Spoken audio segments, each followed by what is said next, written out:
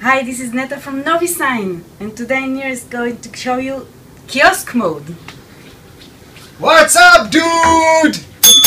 Hi, this is Nir from Novisign, and today I'm going to show you kiosk mode over our digital signage solution on this tablet. This is an Android tablet, 10-inch Android tablet, and I'm going to start our app just like that.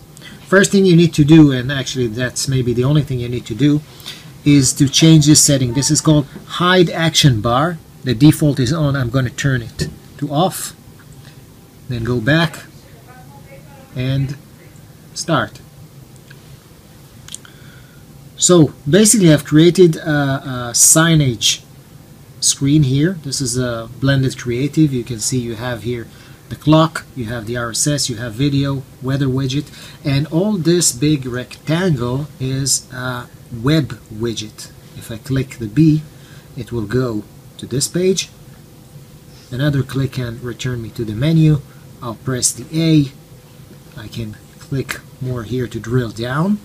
I can even type and fill this form with whatever I like. I'll type here the, yeah, let's choose the dude press submit.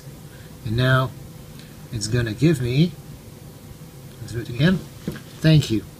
So basically just by creating a couple of HTML pages which are just like a website I managed to create a kiosk mode using our web page widget.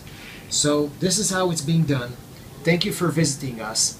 This is Nir from Novisign and please come to see again our other tutorials at www.novisign.com.